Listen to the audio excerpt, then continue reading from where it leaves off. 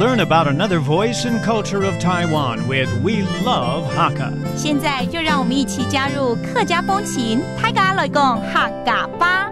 Hey everyone, it's time to talk about Hakka on ICRT FM 100. Hello，大家好，我系阿边个 Leo。 Hello, 你好，大家好，我系 Joseph Ling. And when Leo is around, sometimes we teach you some interesting proverbs.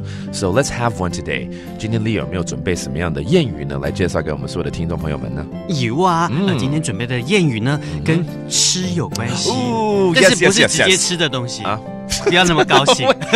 为什么把我这样子浇浇水了？真是的。Okay, Leo is telling us that uh, today's proverb has to do with eating, but then it has nothing to do with food. 跟吃有关，但跟食物没关，嗯，是这样子吗？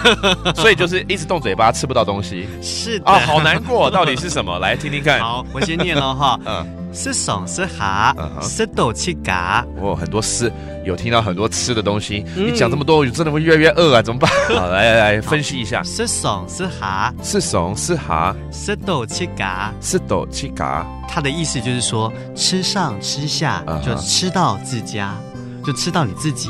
哦，呃，其实它的意思呢，就有点像是说，有譬如说，有时候我们占人家便宜，占太多之后呢，你又不懂得付出，其实到最后呢，倒霉的还是自己。吃到的其实是自己的东西了。嗯 Interesting. Literally, this proverb means eating up, eating down, and eating yourself up at the end. Okay?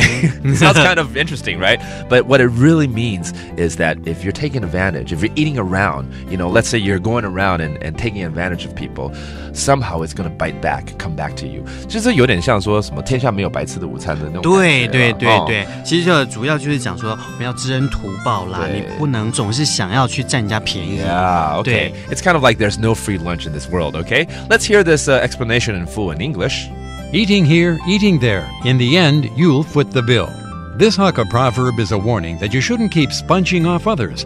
It's good to receive hospitality graciously, but if you continue to take advantage of other people's kindness, you'll have to pay it back eventually.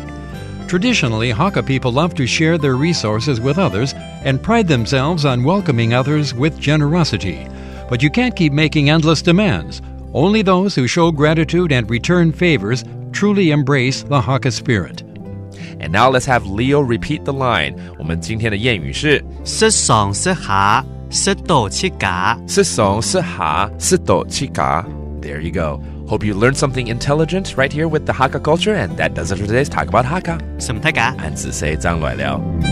客家风情由客家委员会监制。 We Love Hakka has been brought to you by the Hakka Affairs Council.